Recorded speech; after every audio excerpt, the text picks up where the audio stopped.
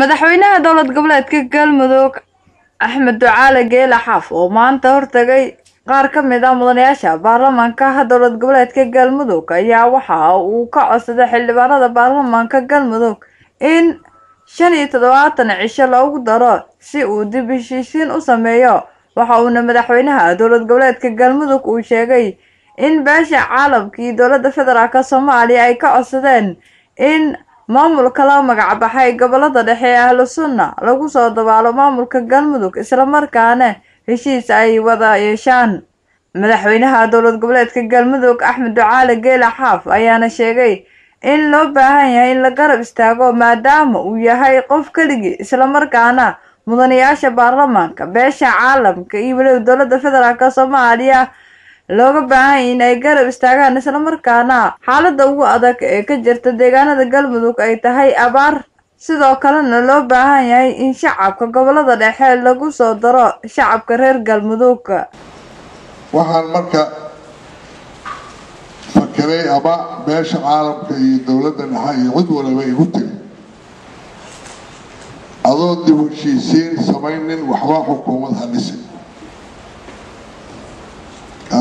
dhisin adoon dib u heshiisiinta ka quusan xukuumad ha dhisin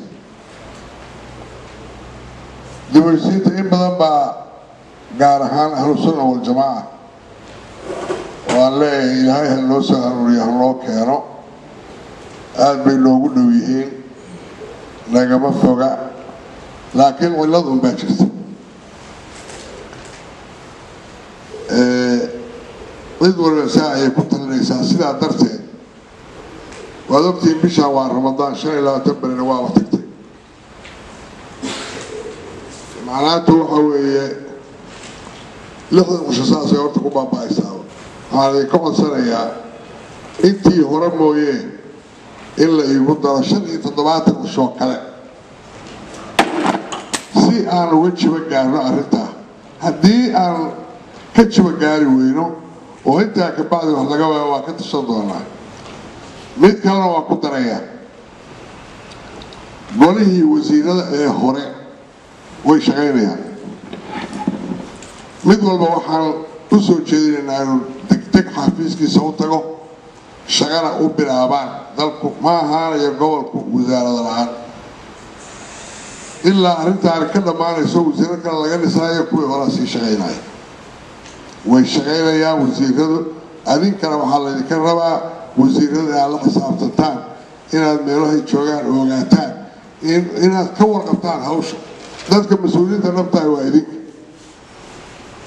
qof waliba cadaad hadduu inta yimaado xamar diyaaradu fuula ma shaqaynayso nin walba degmadiisii baa laga rabaa. Kuwa shabaabka haystaa laga rabaa inay ka war kuwa ahlu sunnada cadaadan ugama xisaabtami karaan iyo gaalkacayo hadday dhusamareeb tegi waayaan iyo bahash iyo iyo mutabaan kan joogaa balanballe iyo caabuda haddii dhibaata ka jirto wax ka qaban waayo waa kala xisaabtamaynaa. Xogaaga cashuurtaa laga aruuriyo gaalkacyo jidka ma lagu heshiinayo. Qof wale waa inuu degmadiisii tagaa cashuurta ka keena. Yaan laysu dhuumanin yaan maaragtay halkaan nin waliba libaax noqonin. Waa in qof waliba shaqadiisii qabsadaa meeshii ka soo jeestaa kana soo shaqeeyaa waa inaad xisaabtantaan oo guddoonkiinu waa inay la xisaabtamaan xildhibaanada. Waxaa laga yaabaa qaarkood inta ameerikaada inay sooba noqonba xamdi abuukar xasan africa cable jowhar